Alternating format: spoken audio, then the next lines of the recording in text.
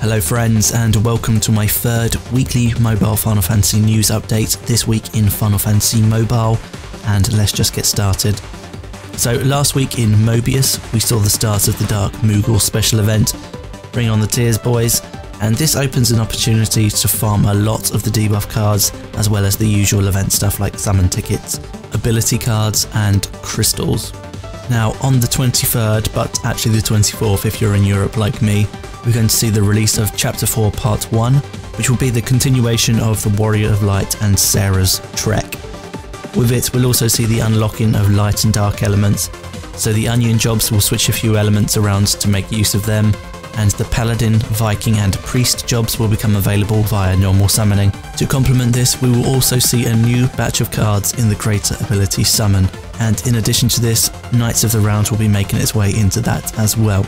Sometime this week we will be seeing a special event for the Chinese New Year, which will boost the amount of Magicite you receive when you purchase it by 50%. I'm assuming to give people an incentive to actually buy Magicite when there are no legendary jobs available. Elixirs will also give double stamina during this event, and this will stack with Mobius Day, although I'm unsure if this is additive or multiplicative. Finally, the 28th will see the start of the Gilgamesh Battle Tower, so please look forward to that.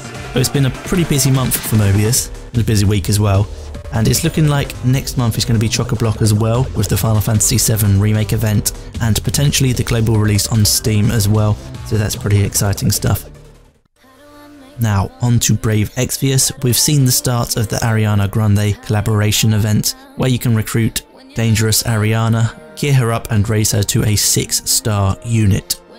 There is also a rearrangement, which is pretty good. Uh, it's not really my cup of tea normally, but there you go. Collaborations are good at introducing you to new things.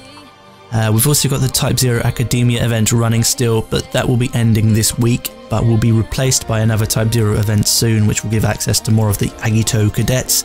Eventually, they'll all be available through summoning. As for Record Keeper, we're still moving on nicely, cycling events in and out and keeping it fresh.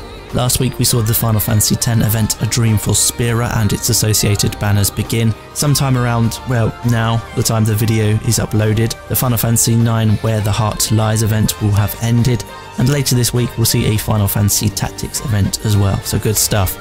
We'll also see the Valigarmanda, I don't know, pronunciation's not my strong point, Nightmare Dungeon open up on the 24th, and that should be pretty good.